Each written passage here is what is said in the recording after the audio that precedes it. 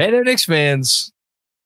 How you doing? It's your boy Jonathan Macri with you for another episode of the Knicks Film School podcast. I apologize, I'm laughing because I just did that thing that I do many times, and I turn to my right and I see my older daughter mouthing the exact words that I'm saying as I'm saying them. Apparently, Daddy has become a bit of a joke in his own household. How do you like them apples?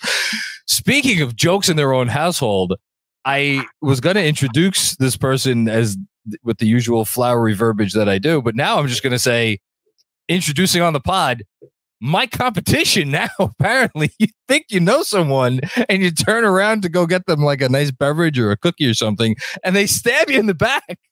What is it's happening? true. Every single appearance, Yes. every single appearance that I've had on this podcast has has been setup. part of a mission. Yeah, part of a mission to steal your listeners. I've I've I've quietly come on. I quietly came on and tried to be good at the beginning, then started to completely derail your podcast every other appearance, and uh, and and and it's all been part of a mission to steal your listeners and bring them onto. I now have a podcast, and bring them onto mine. I'm gonna I'm gonna pump up your podcast, which all joking aside is uh, the whole one episode I've listened to is, is excellent. It's more excellent pod, podcasts on your podcast are gonna come, but I have to make this reference first. You know who you are, and this is topical because he just had the best game he's had in I don't know half a decade. You're DeAndre Jordan. The Knicks thought they were doing themselves a solid by bringing him aboard to try to lead up the KD recruitment little did they know, little did they know that he was going to go air all of their dirty laundry and and take take the talent with him uh, to Brooklyn, as it were. So how do you how do you feel about that? I mean, you made it all first team All NBA, so that's a nice accomplishment for you. Very nice job. That's so that's so good. I mean, uh, that's hilarious. If if I can be honest, I've thought of myself as more of a Royal Ivey than a DeAndre Jordan. He's the other. He's the other guy I was thinking of. He's the other guy. Yeah, I've thought of myself as more of a Royal Ivey, but you know what? I'll take it. That's hilarious. Yes, I did start a podcast. It's called Katz and Shoot. It's subscription only. You can subscribe to it on patreon.com. You can go to patreon.com slash katz and shoot, K A T Z and S H O O T. And uh, you can subscribe there. You can get one episode a week for $5 a month. You can get two episodes a week for $10 a month. You get to ask me questions. I'm doing mailbags, answering your questions directly if you're in the $10 tier.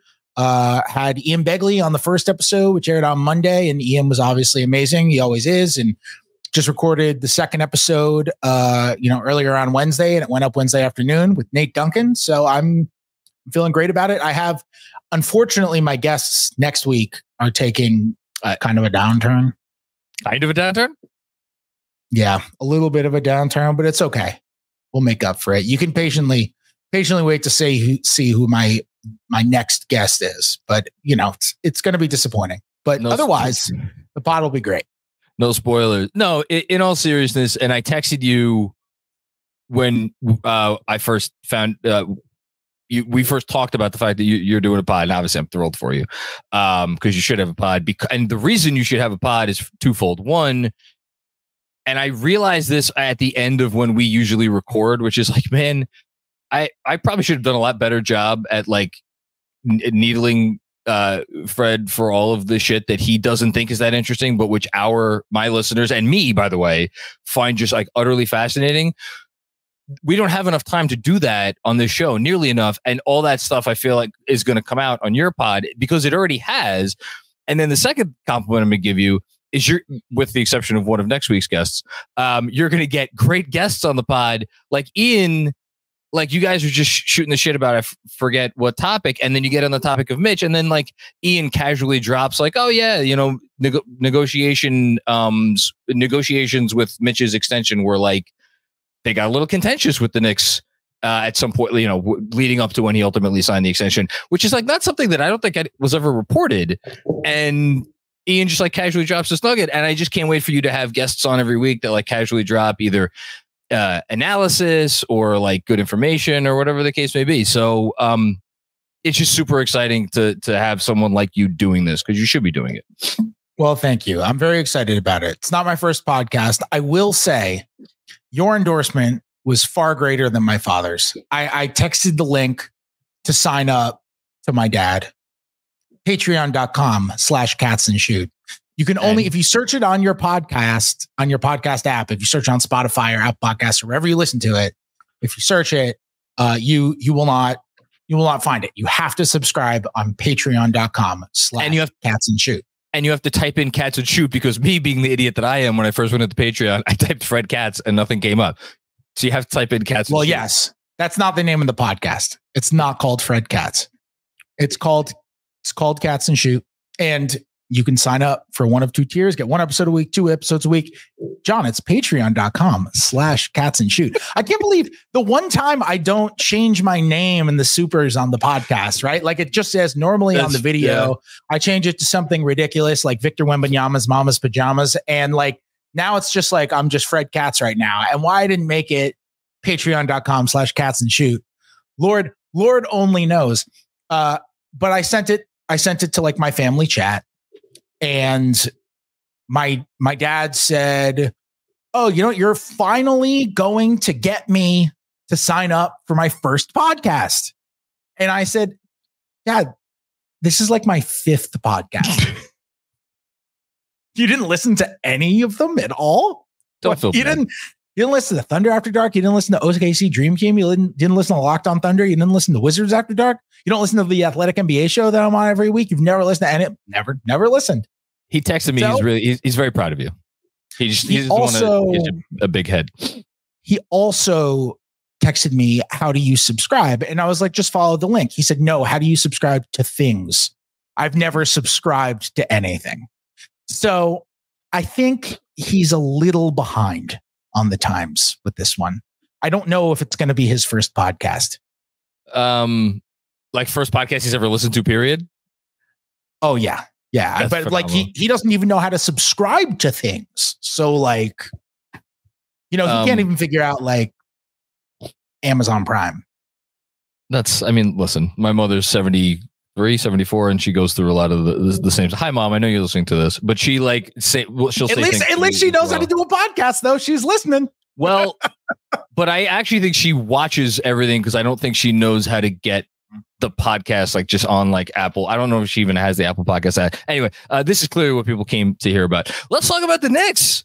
Um, the the uh, the the frisky Knicks who maybe didn't do themselves any favors by. I, w- I wonder what would do. You, see that I'm going to test your knowledge. What would the margin of victory against the Hornets have? Would have would it have had to have been for them to not qualify? Do you know this? Because I don't. I think I think if it was eight or higher, then they would. So as long as they won by more than that's because I know that was the the what I saw you you and others report going into today the yesterday, but uh, then I, I wasn't sure if that changed because like Boston won by a certain amount or whatever, but it was they needed to win by eight or more. Okay, right, but Boston winning by a certain amount got them the division over Orlando That's- or the group okay. over Orlando. Can we discuss something important? please, yeah.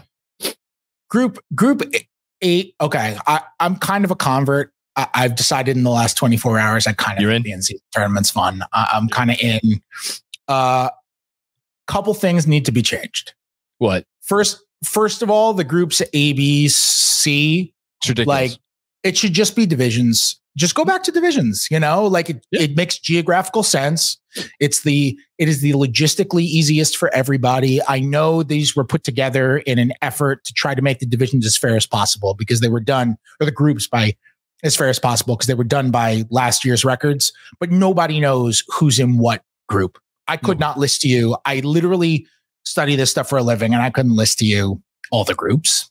Like at least it's a way to make divisions relevant again and they haven't been relevant because they aren't. Yeah. Yeah. And they haven't been relevant in in forever. So it's a way to kind of make it relevant and maybe rehash some old rivalries and that kind of stuff. So it should be the divisions. And the other reason why it should be the divisions is because group play is a terrible name. It's awful. It sounds like a porn category. It's a horrible name. Oh my god. I actually i have something relevant to add to this. I'm reading uh oh i told you i texted you this. I'm reading seth rogen's uh book uh your book and he he he uh talks about having gone to the like the porn awards one year. I forget what the name of. There's like a real, name, but he said they have like a million categories. I wonder if group play actually is a real category in, gotta in be. those awards. It should be. There's a category for everything. There's um, got to be, and it, it- it's knockout rounds is unnecessary. Like the knockout round is such an unnecessarily. That's such an unnecessary name. The knockout round is I just agree. the quarterfinals. I've it. just been calling it the quarterfinals Me because too. Who the hell knows what the knockout? Why do you need to name the knockout round? Why can't you call it the quarterfinals? Why can't you just say that? Why do you have to call one round of it the knockout round, and then the next is the semifinals, and the next is the championship game? Why, why can't you just call it the quarterfinals? I have to jump in. Fred, Oh God, do you watch any soccer? No! I Okay. watched Ted It is so clear, and I speak on behalf of every single international listener that oh you God. don't know ball. Okay, because this No, is I don't. I don't know anything how the about soccer. entire world outside of our our 50 Can I- bubble thinks of every single tournament. The World Cup has a knockout round and group play. Every single soccer thing. This is what the whole thing was based off of. Was the in-season tournament the NBA chose? It was based off of soccer or football, as the rest of the world calls it. So I- all I'm saying, and I'll let you get back to your pod, is your American is showing. That's, Can I that's, make- that's fine? Can I just say one thing? Yeah. Yes. It- International group play sounds like another porn subcategory of group play. So you're making my point for me. In fairness, there's probably more crossover between porn and uh, soccer than there is NBA basketball and, and soccer. But but I digress. Um, I I have an actual suggestion that does not have to do with That- semantics. That would be a great point counterpoint. anytime. Um, this is not semantics, and it's going to tap into what the first thing I want to talk to you about, which is I read the comments from Tom Thibodeau after the game. I could I didn't get a chance to see him um, say them, and certainly wasn't in the room for them um, like you were. I don't see why making the in-season tournament can't be the first tiebreaker for either playoff seeding or if it's it comes down to like the AC versus the nine seed, whatever, um, or God forbid, tenth versus eleventh in the play and out of the plane, because I was doing the post game last night and I was like genuinely conflicted because like, oh great, we get to play the Bucks a fifth time, and then as our reward for that, we either host. I correct me if I'm wrong. Host the Celtics or go to Indiana neither of those sound like particularly delightful options, or maybe it's the other way around. We go to Boston or go to whatever it is. It's two No, really. they'd free- be on the road for both because they're the wild card. Yeah, they- right? you're right. You're right because we're the wild card. Yeah. Either way, lots of unpleasantness uh, there, and then getting to the Thibodeau part of it, like reading his comments. To me, they read the comments of a guy who's like sitting up there and saying the thing he knows he has to say, but like deep down, he's like, "Fuck." now, like, because we didn't need. Like we really needed this, so I, I ask you, like, what do, what do you think of a my suggestion and b what Thibodeau thinks of of all this? I interpret it similarly. There you I go. will also say that the beat writers kind of have a running joke that if we ever, if the Knicks ever win a title under Thibs, that we have like a running joke on what he would be like in the press conference after they win the title. Like we we'd be like, Tom, you you you you won a title. How you feeling? Is what's this feeling of excitement? This is what you've been prepping for for your whole life, winning a title as an NBA coach. And he would just be like, you know, we just got to get back in tomorrow, and next season's right around the corner. I'm like, when when's the joy coming? When when if if, if you're not experiencing the joy, then when are what are you working for? So I I I do think Thibs has this way of maintaining that same Thibsiness at all Mhm. moments. I also think that he is very conscious of the Thibsiness. Like he he will lean into it too. And he plays he plays the character. I I do think he look, he's not a dumb man. Like he he understands what's good for the league. And he actually does have a lot of opinions on things that are good for the league, not good for the league. You know, like for example, like he thinks you'll be shocked to know, like he thinks load management is a big problem in the NBA. And that's not out of character for him. He's also not wrong. And the NBA completely agrees with him. It's a huge problem. It's probably the biggest problem plaguing the league right now. Uh, and so, like, he has lots of opinions on the league and how it should be run and all of that. I think he really does see the good in the in season tournament in terms of the interest, in terms of making players play harder. I actually asked him as the last question of the post game press conference last night. I asked him because he took out Brunson with about two minutes left. And then like Jericho Sims came in with like a minute 45 and they weren't absolutely 100% in at that point. They were almost definitely in. Sure. They weren't absolutely 100% in and point differential mattered. And I, I asked Thibs if uh, he should finally be criticized for not playing his starters enough.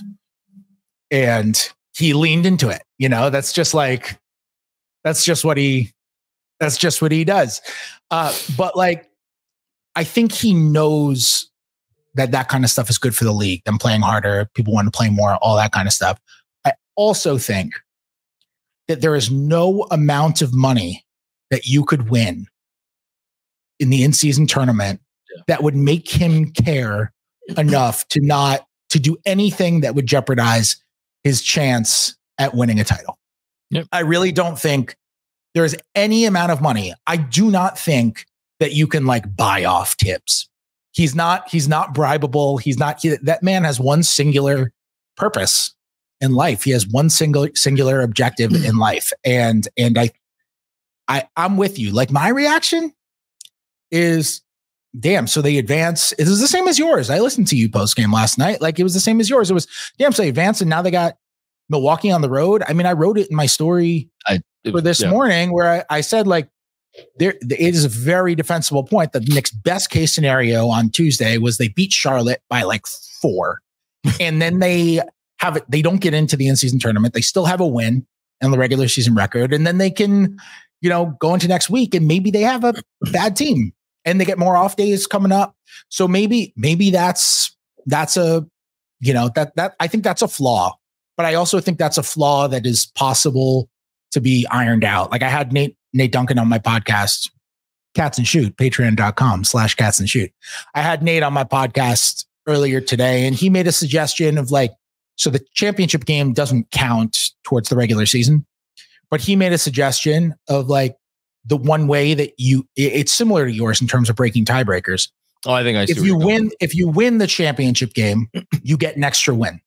But if you lose the championship game, you don't, you don't get a loss. It doesn't count. And I was really into that because it's like, okay, that will break that will break a tiebreaker. Why did they that. do that? It's a good idea.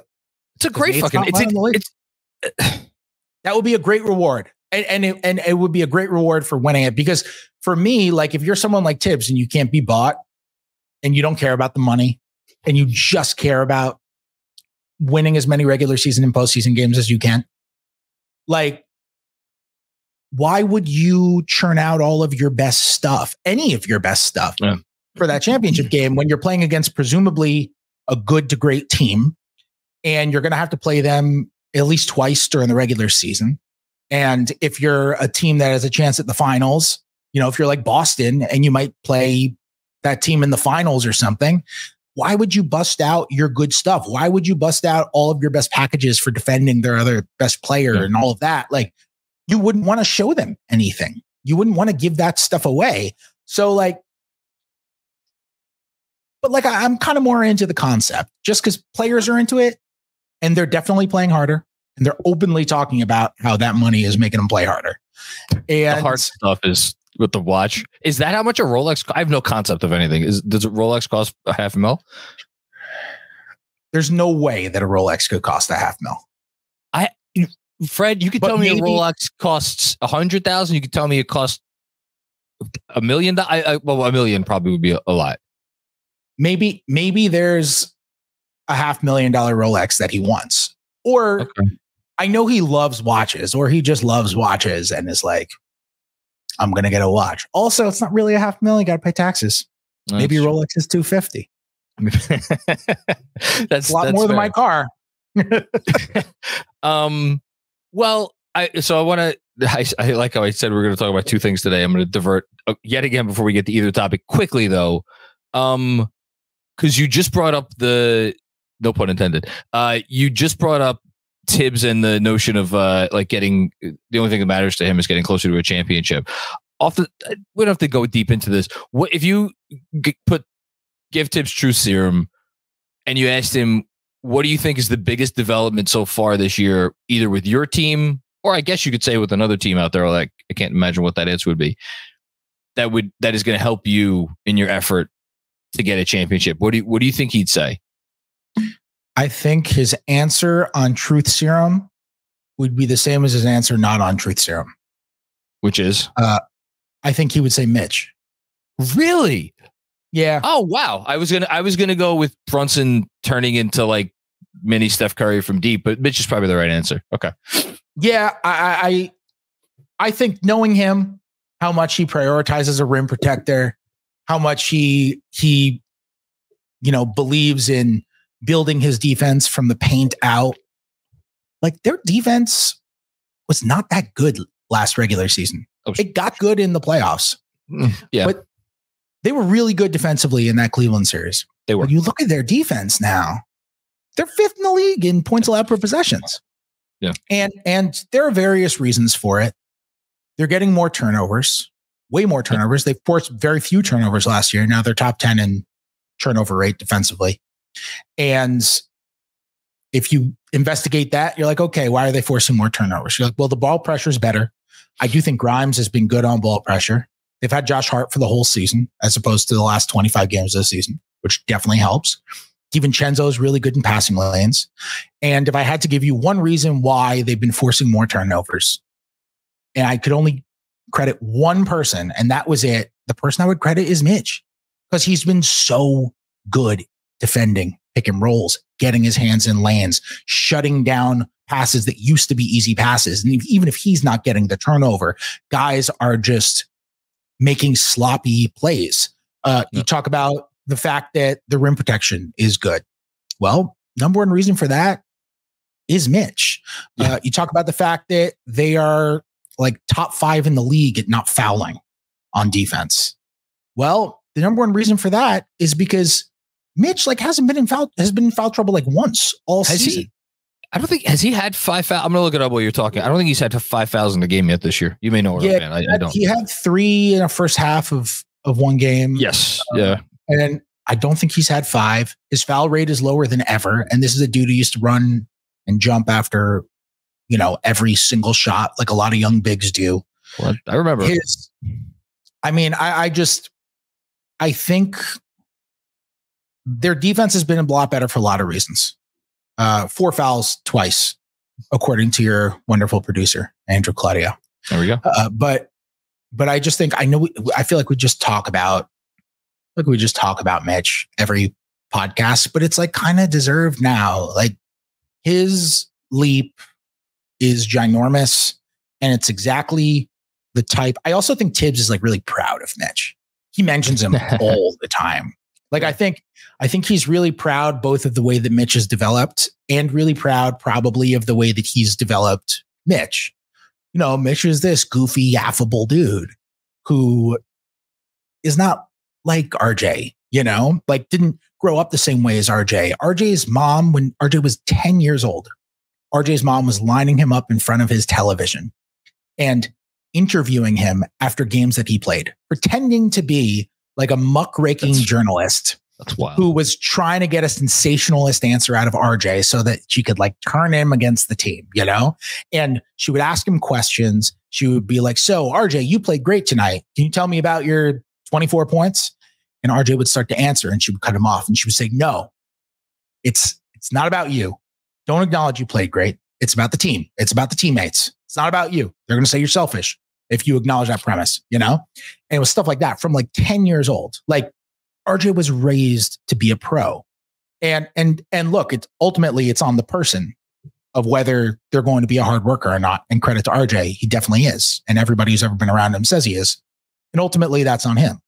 But he had these values and not just the values, but the way to execute on it. Like his dad was a pro. His dad is the GM of the Canadian national team. His mom was an athlete. Like he was, he was the number one ranked recruit in North America at one point when he was coming up. He went to mm-hmm. Duke. Like he had all of these examples of what it's supposed to look like. So by the time he came to the league, he was already insanely mature beyond his years. And Mitch grew up very differently. Yeah. He grew up in a very different way. And sometimes there are guys who want to work hard or think they're working hard and have all the right intentions. And they just they've never been around that. They don't know what it looks like. They're not they're not trained from a young age in order to do it. And i think mitch is one of those guys who's like changed. As he's gotten older and he's realized okay this is what i do and his habits have changed and what he prides himself on has has changed. And it's not because he was ever you know selfish. It's just because like you learn stuff as you get older and everybody has a different starting point. And and i think thibs is i bet thibs is really proud of that development with mitch and and you know he'll touch on that every once in a while and i think he's definitely very proud of the leap that mitch has made because he's like a huge mitch fan I mean, he had a nice soliloquy about Robinson after the game last night, which I enjoyed um, reading. Yeah, and uh, is it fair to say at this point, other than um, Embiid, you know, doing whatever he could pot- potentially do, which you and Ian talked about extensively, and I'm, I'm not going to spoil. it. Go go go subscribe to Katz and Shoot on Patreon.com. Um, but patreon.com slash katz and shoot slash there you go. and that's Um, my last name katz k-a-t-z and shoot patreon.com Uh, slash katz and shoot other than Embiid, like something happening with Embiid, would it be fair to say that it that it would it would surprise me? Would it surprise you if they swapped out Mitch for like any other center at you know over the next like year or two?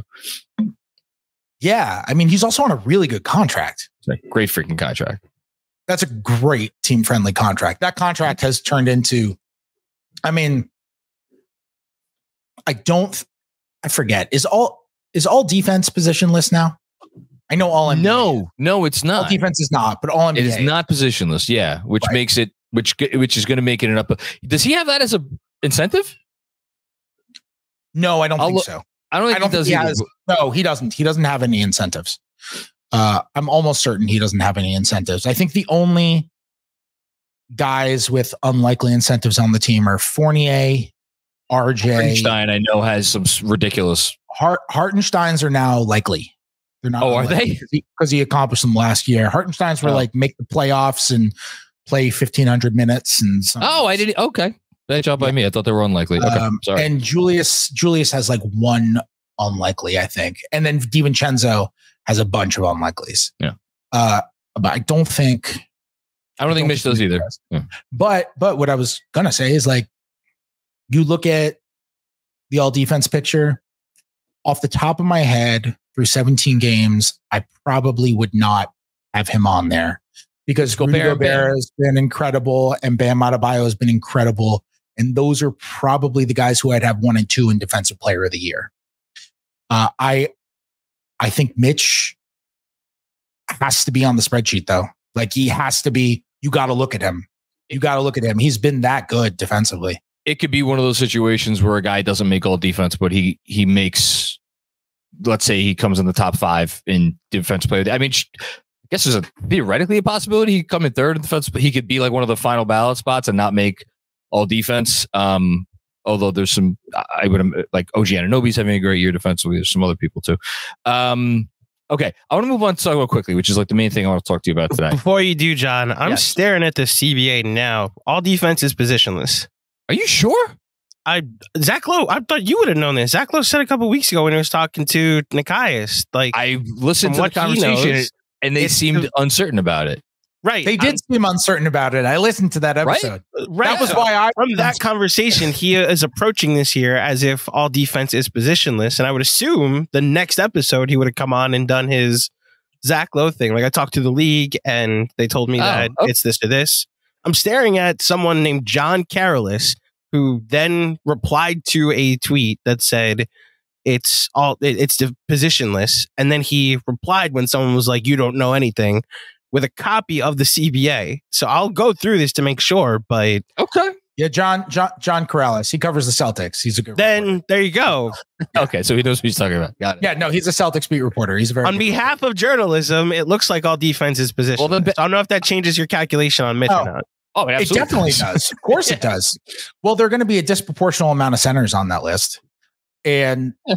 yeah, I mean, you're basically saying, do you think Mitch is having one of the ten best defensive seasons and in he, the league? And I think he is. Yeah, I think he is. He's he's been he has been fantastic. And, he's really been fantastic. And you know what the, the proof of that is? Well, maybe I shouldn't say. This would be a good transition. I was gonna say they're the next fifth best defense in the league right now, and there isn't another player on the team that you would seriously consider giving real thought to putting on all defense. And yet, as I say that, there is one guy who, in the back of my mind, I'm like, well, he's not quite there. But if there was a second guy that I would at least try to make an argument for, it would be Immanuel Quickley, um, because of all the things that we've talked about over the last year. Um, which is a good transition, I think, to talk about the story that you wrote was it earlier this week or was it last week? I'm losing track of time. On Quickley and Brunson? Yes, on Quickley and Brunson. Uh, on Monday. It was on Monday. Okay. So it was close yeah. to last week. Um, yeah, after the Phoenix game. And you really kind of did this, like, I thought a really good 10,000 foot view of the situation, I'll call it, where the Knicks have a guy who was their best player. I don't think any, I mean, everybody always disputes everything. I don't think any reasonable person would dispute that Jalen Brunson is the best player. And then a guy who, on a lot of nights, looks like their second best player. Uh, you know, and I looked up all the advanced metrics today. You know, there's an advanced metric right now. One of the one of the basketball reference ones. I forget if it's VORP or, or win shares or box plus minus. Someone has him like one of those has him like 30th or like 28th in the league this year. He's high, he finished 30 something in Raptor last year, the 538 metric like he is as you wrote about really really good. And it's this really unique situation that we've been dealing with for a while now where the, the Knicks best player and this other guy who's falling somewhere behind him in the ranking but not too far behind basically plays the same position. And this this larger dynamic of it's a team building question it's a night to night minutes question. You could zoom in as much as you want you could zoom out as much as you want. Any way you look at it this is, I would argue, if not the most relevant, like big picture thing with the roster right now, forgetting about who they might trade for. It's right up there. So I, I kind of just want to like toss it to you and be like, well, what do you think should happen? With, like, do you think that there is like a reasonable course of action or a reasonable direction this thing could take given all the factors at play. And I ask that knowing that there are a shit ton of factors at play, which is what makes it an interesting topic, I think, to, to at least think about. Very loaded question. It is. so t- t- pick it apart. Take, take it any way you want. We don't, I mean, we don't have to do the whole thing right now. We could. This will be something we should revisit because I think it's an ongoing thing. That'll Definitely. that'll be yeah throughout the season. Unquestionably. I mean, I I think you could argue it's. I mean, you know, will the Knicks trade for a star and which one, I guess is really the biggest question. But I, I'm kind of bored of that, to be honest. I'm so bored of that. I'm just ready for them to, to do it or not. I don't have anything new to say about it. Uh, this is certainly up there as one of the biggest questions for the Knicks. Like, what is to come of Immanuel Quickley after they didn't agree to an extension before this season? And I don't think they were really close to agreeing to an extension.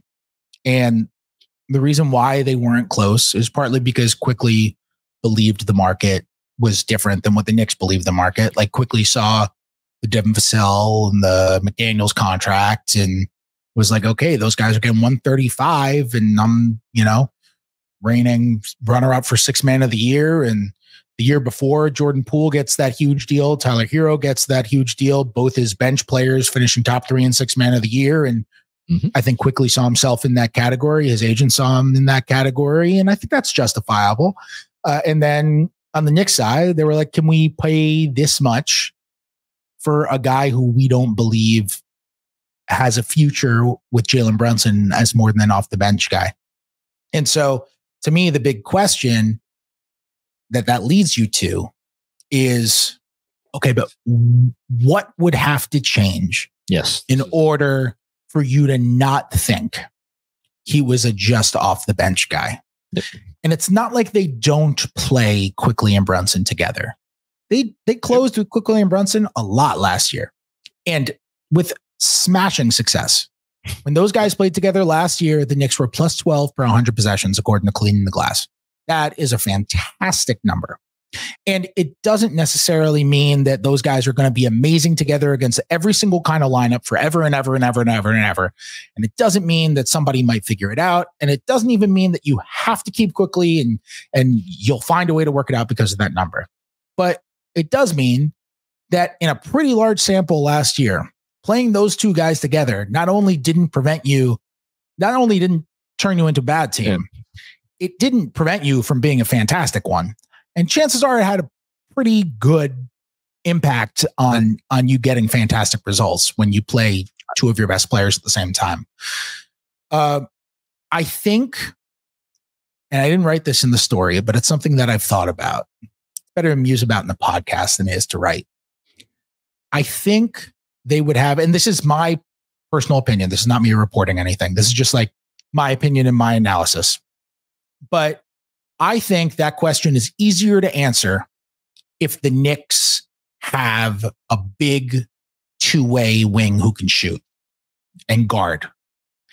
I think if you have somebody who can, like OG Anunoby, who can guard the other team's best player all the time, will shoot threes, will be good on offense, and can just kind of be a switchblade, then I think it's a lot easier to play Brunson and Quickley together more. The thing with Quickley and and the reason why he's a really good defender and he's a fan, he's the best he's he's the best team defender on their perimeter for sure. Yep. And he's one of the best team defenders in the perimeter on the league. That's what I was getting at before. Yeah. Yes, no question. But the thing with Quickley is that they never use him to guard the ball. It, because and, and I think it's a little bit of chicken and egg stuff where it's like it's partly because his on ball defense is, it's partly because his off ball defense is so damn good that they mm-hmm. value keeping him in the corner and keeping him as a director. And, and, and that's a really important position inside a Thibs defense too, because you need to be able to have both the smarts and the quickness to be able to collapse into the lane as a helper and then close back out on a shooter in the corner. And you have to be able to read the game incredibly fast and you have to be super agile physically as well. Very few people have that combination, and Quickley unquestionably does. Uh, but but there's also a, a large gap between his off-ball defense and his on-ball defense. Not that his on-ball defense is bad; it's obviously not. But he's a wonderful off-ball defender, and he can still get muscled when he's on the ball. And he's not the type of versatile guy who is going to guard all these different kinds of players. And with with Brunson, that's that can prove to be a problem. If you go up against a team like Boston, which is just oh, really oh, well. big, I I could see you really struggling on the defensive end because of that stuff. So I understand the reservations, but sometimes basketball reality just like deviates from basketball theory completely, you know? And the thing that you didn't think was going to make sense, like you watch it and you're like, it just makes sense. And I think the Knicks might have, I'm open to that being the case with Quickley and Brunson, you know? I, I mean, I'm extremely open to it. I, my my bigger question is how it would take place eh, from a practical standpoint of a, like a team building standpoint, which you just brought up, because like so, for instance, like the notion of him starting, I don't see him ever starting as long as RJ Barrett and Julius Randle are both here and Jalen Brunson are, are, like, we're, you know, you and again, you and Ian talked about how Quentin Grimes, and we could talk, we don't have to talk about it because you guys talked about it and it's been talked about enough this season about like how much of it is on Grimes, how much of it is on the team. Like, the, but the fact is, Grimes has is it the lowest usage rate or the second or what one of the lowest usage rates in the leagues amongst guys who have played that many minutes and and so on and so forth. So now you're gonna like the notion that you're gonna move Quickley in there, and who's taking the haircut? It's like it's I. So I, I think he's in the right role on this team. I think he should be the sixth man on this team. The fact that he winds up on a lot of nights playing 26, 25, 24 minutes is uh, is not ideal I don't know that there's a great answer for it, a great way around it. And and by the way, we saw like the other night in Phoenix, Thibs does have it in his back pocket to put the dude in at the five minute mark or six minute mark, whatever he put him in. It was like five thirty, and just not take him off the court for the rest of the game. So like he can still do that if he needs to. I guess I'm not as worried about that, and I'm more worried about okay if if you really do invest in Quickley, and you think he could be a starter down the line in addition different iteration of that of the team. So like you bring up OG Anunoby coming in. Like I, I I don't know how many other moving pieces there would need to be, right? Because then like who's your is, is, Brunson your number one? Is OG your number two? Is Quickley your number three? Like who's playing the is OG that the four? I, we're saying OG like whoever that version of a of a big wing, right?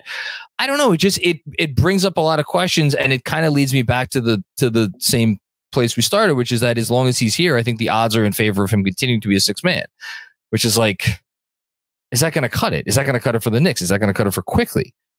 And and I don't I don't know what we do with that because I mean the guy is just awesome and I and it, le- it leaves my head spinning. I'll, I'll, honestly, I don't know what to do with it. Yeah, it's really interesting. I mean, look, I I think there's one way that you can kind of edit things on the margins, which is he doesn't have to play 24 minutes a game. He okay. does. He doesn't. He he can play 29. Like you can sure you can switch his and Josh Hart's minutes. You know, you can like like right now, Hart is the first sub into the game for RJ Barrett. Yep. And Thibs is a big proponent of lineup data. So this is a change that I could see him making at some point. Watch out for the 20 game marker. Okay. Just watch out for that. Thibs, and again, not reporting. This is a prediction based on things that I know about Thibs. Thibs is a big proponent of lineup data. And at around the 20 game marker or so is when he feels like he kind of has enough of a sample to be able to look at his most used lineups and take some stuff away from it. He's already starting to look at the starting lineup and that bench unit. And like right now, the starting lineup has played 368 possessions together. That bench unit, which is awesome, the Quickley DiVincenzo, Hart, Barrett, uh, Hartenstein, has played 195. And, and I know that he looks at those numbers. Starting lineups plus 5.2 per 100.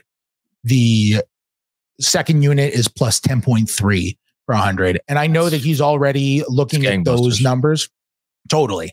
And I already know he's, I know he's already looking at those numbers and being like, okay, well, you know what? These are working. And I know it factors into his decisions about starting lineups and all that stuff. And like, yeah, well, if you move if you move Grimes, I'm not saying he's like thinking about yeah. moving Grimes to the bench, but I'm like, what enters his equation if you ask him, like, would you consider moving Grimes to the bench? Is well, I don't want to mess with the bench unit. That that unit's plus 10.3 per 100. They're running teams out of the building. It's been huge for us. I don't want to I don't want to mess with that. And the reason I mention this is because I just I wonder when you get to 20 games because there is one lineup that the Knicks have used more than their all bench unit and less than their starting lineup and it's the starters without RJ Barrett and with Josh Hart, which sucks. That and that is the lineup that they play for a nice little portion of every first and third quarter because mm. Hart is the first sub in for RJ because they have to stagger RJ with the bench unit. And at some point, that lineup that lineup is minus 9.7 per 100. So as good as that bench unit is, that's how bad that lineup with Hart has been. Uh, and it's and it's it's not over as many games because Hart stood in as a starter for a little bit and they got killed yeah. in those minutes with Hart as a as a spot starter for RJ. But like it's just the thing that I'm keeping my eye on because that unit is getting killed. Thibs cares about lineup data, net rating, all that kind of stuff. And I know it's not like he like takes it blindly. He's got to look at it and say, okay, why is this working? Why is it not working? But when I watch that unit, Teams aren't defending Josh Hart in the perimeter. Hart hasn't been. He was really good in the Charlotte game. I, I was about he, to say maybe maybe he's turned a corner, but, but keep going. Yeah. Yes, he was really good in the Charlotte game. But even when he's really good, it's not like teams are like closing teams out hard on Josh Hart. That's not his game. There's just not like teams are closing out on RJ now. They're respecting his jumper in the corner, especially, mm-hmm. and and they're they're guarding him more. That extra spacing is important for Brunson. It's important for Randle. Like, I think it makes sense. Like the reason that lineup is bad is because they can't score. That lineup has a 45% effective field goal percentage. That's disastrous. That's, horrendous. horrendous. And like maybe that would come up if they play more. But I'm just I'm waiting to see. So maybe a way to do it is like, okay, well, Quickley with the starters has been really good. Yeah. That line has been really good. So maybe maybe you just see Hart be the second sub in now and Quickley goes in for for RJ like he did last year, and you reverse those roles. And now Quickley he's playing maybe an extra five minutes, Yeah. six minutes a game that he's not getting right now, and that that could be a tiny little adjustment that could get him up to a higher minute total, which would probably make you a better team because you have one of your best players playing more. It's funny you say 29 minutes. I looked it up today just because I was like I'm writing about this for the newsletter, and I just uh, my my like prototypical example of like a six man that's obviously too good to be a six man, but it's best for the team is the Manu Ginobili you know thing in San Antonio when that was going, and the year he won six man of the year. He averaged more than 29 minutes for the season, but that's because he started, I think, like 15 or 20 games. In the games he came off the bench, he averaged 29 minutes a night. So like it, that that seems to be like the the sweet spot, you know, like the about the most you could play a sub without completely like wrecking your other like the rest of what you do. So Yeah, it's almost as if I watched the Knicks. I love you. Almost. I I um I I promised my daughter I'd take her out for dinner, so I I, I want to hit one last topic quickly, and and then we'll I will get out of here. Um, because you have a job, I guess, uh, allegedly. Eh, Yeah. not really. I literally just watch basketball. If I were unemployed, my life would be no different other than I would travel less. Be like, what are you doing tonight? Ah, watching the Kings game. And then employed me is like, what are you doing tonight? Ah, watching the Kings game. The kid. Fucking what? Did you watch? Were you able to watch the the end of last night? I actually went to bed early because I was Oh, you insanely exhausted and I missed it, but I saw what that it might be over. I know, I know this is like the topic of the week around the NBA. We don't have to do okay. One more topic. I, we're not we're not getting the. I could talk to you about for about the Warriors for a half hour. Um, Julius. Uh, so Julius Randle got his uh three thousandth rebound. I think it was as a Knick. Uh, either the last game or the game before, whatever it is. I think it was the last game. And I looked up today.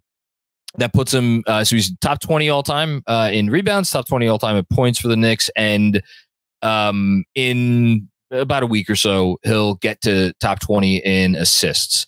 And I sent out a tweet earlier today about who he joins. I'm going to just double check right now. I think when he gets into the top 20 in those four um, categories, he will he'll be only the fifth Knick to be in the top 20 in those four.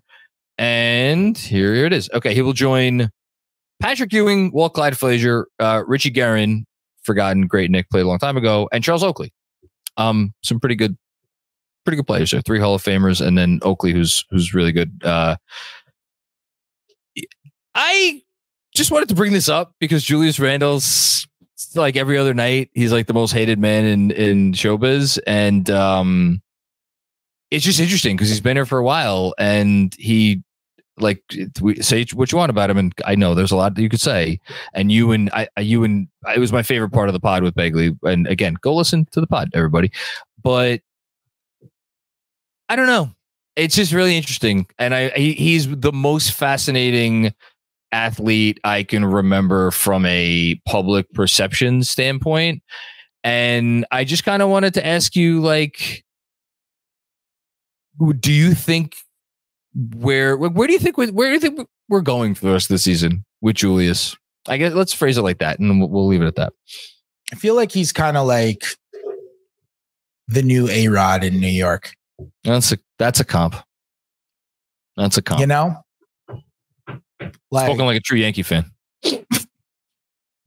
I mean, you, Well- you are for anybody who doesn't know. So I'm a huge Yankee fan. yeah, I'm, I, Yes. but no, for anybody, I would- people listening may not know that. I just want to point that out. And I'm not even comparing him to A Rod because from everything you read about A Rod and hear about A Rod, you know, he's difficult and he was a cheater and all this stuff. And like, that's not Julius Randle as a human being. But just in terms of the relationship that fans have with him, the playoff ups and downs, the the sort of love hate relationship that so many Knicks fans seem to have with him, the way the fans will get frustrated and kind of his up and down on court demeanor. Uh, I, I, I, I see it. I think there's a little something there.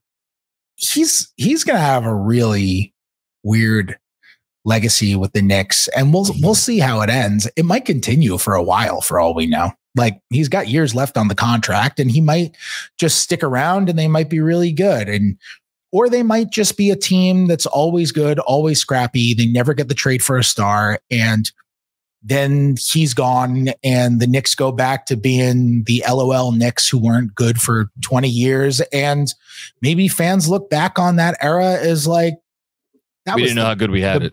Exactly. Like, I don't know. I covered, I covered the Wizards and, oh. you know, that, that, that team, the way they look back on Gilbert Arenas, even though those Arenas teams won one playoff series and never won 50 games. But the hmm. way they look back on that era is like so fond. And part of it was because Arenas was so charismatic and, you know, was kind of a show everywhere that he went. But the other part of it is like that that fan base didn't have very much to watch for a really long time leading up to Gilbert Arenas. And and I just I wonder I wonder what's going to be with Julius because I could see it going either way. I could see this kind of this kind of uh, frustrate fr- frustration laden relationship kind of continuing. I could see fans with time removed being like, "Man, that guy averaged twenty and ten every year, was All NBA twice, one Most Improved Player, represented the organization professionally and well, like was you know." Did wonderful stuff for the community off the court and everything like that. And just put up numbers and was kind of the face or one of the faces of the best stretch of Knicks basketball in two decades. And like, I wonder if that's going to last. Like, I feel like you could probably speak because I didn't even grow up a Knicks fan. So I, I really I, can't speak to the psyche of a Knicks fan nearly as well as you can. Like, what, I, what do you say about that? I was, I was angry, not last year, the year before, as, as you know, I, I, it made me angry. What was, what I felt was a consistent, like, almost like a consistent like fu to fans in terms of his how he went about his business every night. It was I was like really bothered by it. And now like yeah, there's there's moments, right? And there's stretches of games. Like again, you guys just talked about it. Like everybody sees it.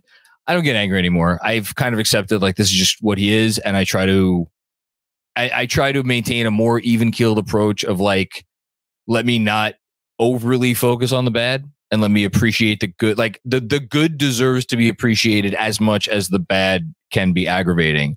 And you watch the stretch he had against the Suns and like even like you know the Hornets game. Like did do it did fucking twenty five and twenty. There was nothing. Like it was nothing. He also had an amazing passing game. He had, I know he only I, had five assists. I, yeah, but, but it was, was a better passing inc- game. Than, oh, yeah. amazing passing game. He Absolutely. made probably ten incredible passes in that game. So like I so I don't get angry anymore. I sympathize very much so with anybody who does it, he still gets under their skin. Because again I was like just there two years ago, um and I my ultimate opinion on this give if if he gave fans not even one good playoff series like half a good playoff series in a series they advanced in. Like if he if he gave the Harden performance in the uh, the Celtics series last year. Harden had two good games, I want to say, and so maybe more than two, but like something like that, two, three good games, and they advanced. Like, I, honestly, that might even be enough to to to to. It might be. I'm j- I'm j- I'm spitballing here. I don't know. I don't know. I don't know until I see it. I think I think you're right. I think you're right. I think that could. I think that could that could totally swing it. It's kind of impossible to acknowledge. You know, one thing that has to get better though. What? Like the the shooting is is still not. Is he 31? Is it 32? Right now, from three, shooting 27%. Is it that? Is it 27? Yeah, and he had the that that awful six game stretch to begin the season, which dragged everything down. And he's like 46% from the field. Played 17 yeah, games. Yes, but he's like he's like 46% from the field. Yeah, he's like 46% from the field in the last 11 God. games. But even over that 11 game stretch where he's averaging like 23 10 and 5 and his yeah. has looked I, I would not say he's played at the caliber that he did last season when he was all NBA, but he's definitely been much closer to that than he was in the first 6 games when it was yes. I was on here last time saying crazy shit like if Julius Randle were playing better, I'd be more pessimistic. That's how upside down yeah. things were. Like yeah. he he he just had an inexplicable first six games. Uh, but even over this 11 game stretch where he's been a lot better, he's still shooting 30% from three.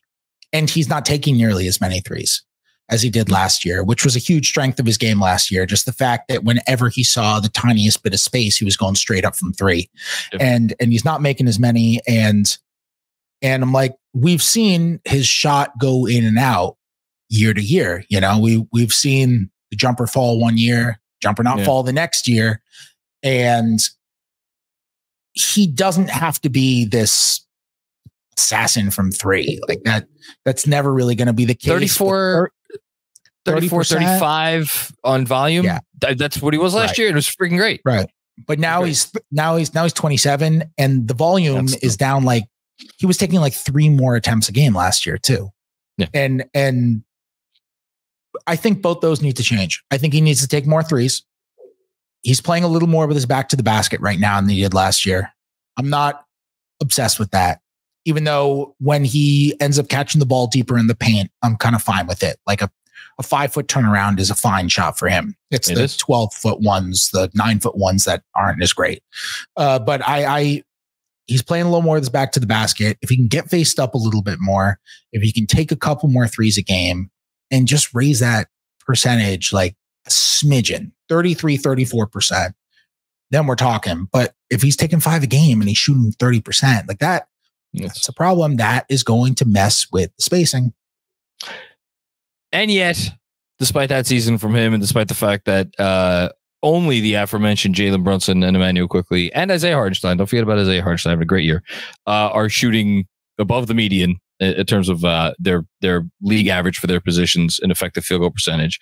Um, they're still 11th in offense, so I guess all things considered, um, things could be worse, as we say. All right. Yes, I would say Hartenstein. No, I was going to say I would say Hartenstein is underappreciated, but I think it probably speaks to the intelligence of Knicks fans to say that I actually don't think he's underappreciated. I think he's properly underappreciated, but we properly never ever, yeah. yeah, we never we never talk about him, and he's having a great year. I just he's having he's a top five backup center. Oh, he, without question. He's he's been like can, I can't even think of a night where I was like, oh, Hartenstein didn't play well tonight. He's just exactly the same every single night. He's good defensively. He's protecting the rim. He's a really good team defender. He's he's making great passes within the offense, fantastic outlet passes. He's setting great screens. He's making the smartest of plays. He's finishing around the rim, getting tons of offensive boards. Like he just he does the exact same thing every single game. It's just eh. it's wild how consistent he is. And the um the blocks he's had, man, at the frame. It's fucking it's fun. It's really cool because it's like you know you might not look at him expect that, but man, he gets in there and he is fearless. It's really. cool. I love Isaiah Hartenstein. I love him and the Mitch, him and the the, the two of them together. It's, it's it's good stuff. You had a great story about them. Um, again, uh, one more time, one one more shameless plug. I'll let I'll let you say it. They they really are like insanely close friends, and they are they are completely and utterly ridiculous together. Like talking to the two of them together is it is insane. I wore I wore a button down shirt to the game yesterday and kind of had like uh you know like the Seinfeld bit like the second yeah, button makes the shirt. Button. It really is true because if I button the second button on this shirt it was it's too high. I was going to look like I was choking myself. But I unbuttoned it and I was just showing off too much chest. Too like much. I'm not the kind of guy who can show off that much chest. And so the second I saw that Isaiah Hartenstein saw me at the game yesterday, and as I've said on this podcast before, he calls me by my legal first name, Matthew, as does Mitch, because the only people in the world who call me Matthew are my mom and the two centers on the Knicks. And Hartenstein sees me and says, Matthew, button that thing up, button that up. And then he immediately says to me, you better not go in the locker room. And I said, why? He said, Mitch is not going to leave you alone once he sees that button. That's great. I was like, these, these two. That's it's, they're a good, uh, they're a good, uh, a good sitcom waiting to happen. All right. I got, I really have to get out of here. Um, as always, I could talk to you for a very long time and, um, spoiler alert, I will be talking to you again soon. That's all I'll say. Right. On on I won't I won't I won't say where, but it's on patreon.com slash Katz and shoot. How about those Pistons, by the way? No. Okay. Fred Katz, he also writes, by the way, for the Athletic. You're actually playing the Pistons tomorrow. I the know. one time that we could have talked We about the have done a Pistons and Andrew wouldn't have cut us off. we never talked about the The Pistons. There is a pregame pod coming about the Pistons that you could listen to there. So I can't wait There. to listen to the fucking pregame pod about a team Mhm. that has lost a billion games in a row. Watch, they're going to beat the Knicks on Thursday, I'm sure. they'll beat the Lakers first ahead of time. You negative Nelly. They're not losing to the Pistons. Uh, if they. I mm. Anyway. The PTSD. Land the plane. Let's get out of here. Okay, uh, Fred Katz, uh, you write for the Athletic. Uh, read Fred Katz every day, and you could also also now listen to Fred Katz nearly every day. Um, he's the best that there is. Uh, there's a reason why I just have nothing but uh, gratitude and and genuine love and appreciation for what he uh, not only does in his job, but like what he does for us here at Knicks Film School. Um, thank you, Fred. You're the man. You you are the man. I I love this podcast. Listen to it all the time. You guys are you guys are amazing, and uh, I'm I'm very excited to see uh, you know how my podcast falls off when I have my next guest on at patreon.com slash Katz and Don't shoot. Don't look at the metrics. All right. Uh, everybody out there, thanks uh, for checking out another episode of the Knicks Film School podcast. We'll be back with more funny games before you know it. One final thing just to close the loop before you go. What? This is the CBA. Oh, Jesus Positionless voting. All NBA and all defensive team voters will be directed to vote the most deserved players. So Christ. Look at me and Fred. Mm. the two Well, there you go. You guys might be run, hundred years old. I just had Fred, to land the the plane there. You're good. We both we're both we're both leaning in like we're like Marc Berman on a Zoom press conference in 2020. That was the best. Every Zoom press conference with Berman, God. Berman's like all the way over here, being like, "So, uh, que- question for Tom."